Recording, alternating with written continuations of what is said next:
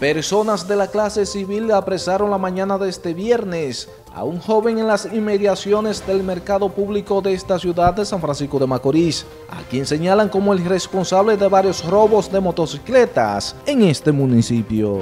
Se trata de Eddie Rafaelito Betances, de 1,28 años, residente en el sector Madeja de esta ciudad.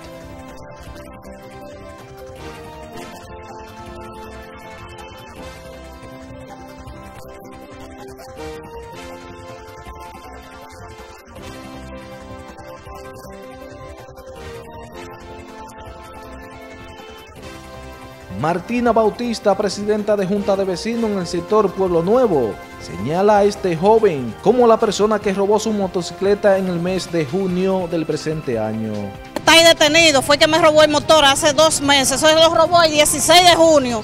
Y yo hasta el 16 de junio, hasta esta fecha, le estuve dando seguimiento. Él estaba en un programa y yo no podía entrar al programa a buscarlo, pero yo sabía que él estaba ahí seguro. Él llegó a un sitio y gente que me conocen, yo le dejé el teléfono y ellos me llamaron que estaba ahí, nosotros fuimos a buscarlo.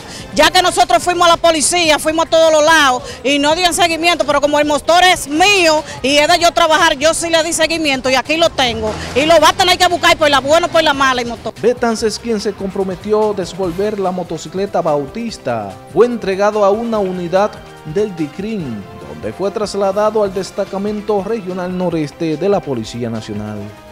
NTN, su noticiero regional, Robinson Polanco.